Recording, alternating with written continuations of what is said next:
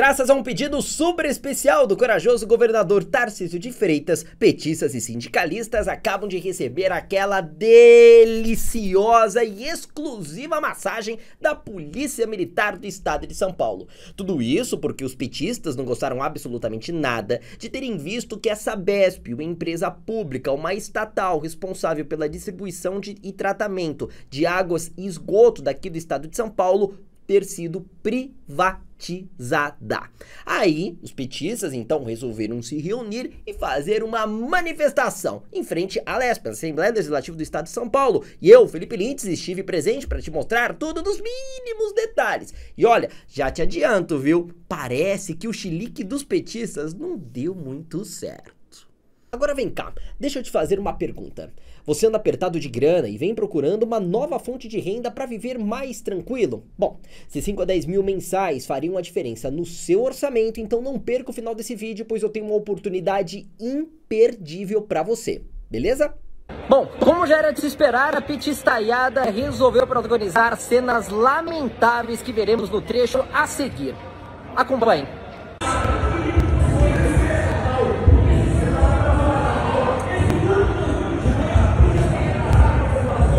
Dá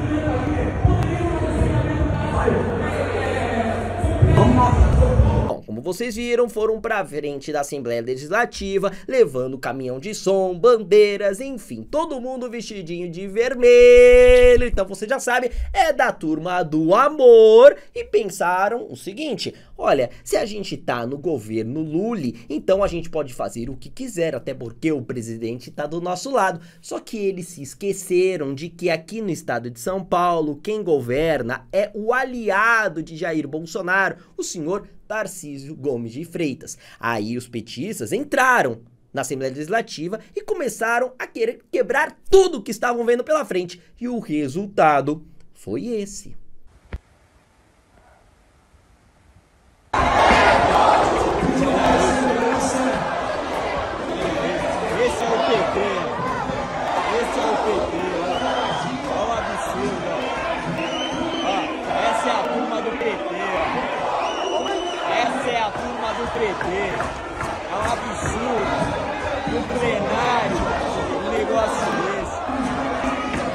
Desse. Tem que ser preso esse pessoal. Olha lá. Olha lá.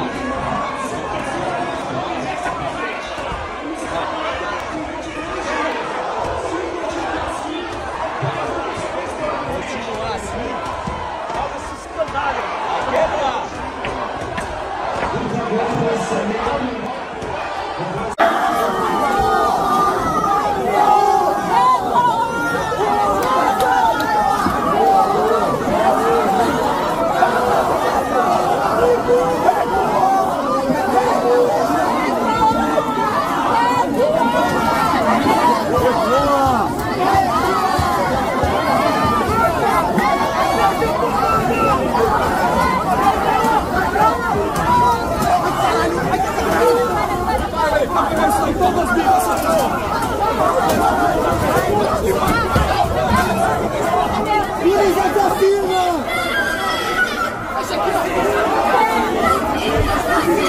Quem não tem vergonha não! Era pra ter carro logo no prova!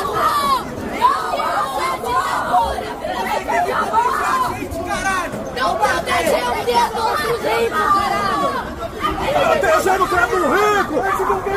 Bom, vocês viram todo o amor dessa turma sendo destilado através de quebra-quebra, tentativa de invadir o plenário, atrapalhar a votação, inclusive tentando partir para cima de deputados que estavam votando sim pela privatização dessa estatal. Bom, aí o que que acontece? A polícia parece que conseguiu encontrar uma mulher que está sendo apontada como a suposta líder de toda essa movimentação. Aí na hora que ela estava sendo presa, que estava sendo levada para delegacia, vejam só o chororô. Ué, mas cadê a valentia que a gente tava vendo aqui agora, hein? Se liga. O deu um ele deu um caída!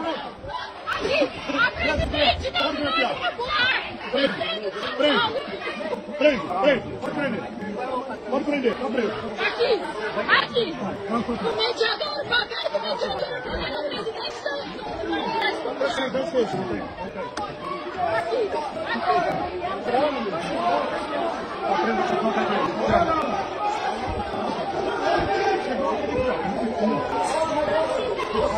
Denis! Não a privatização! Fascista!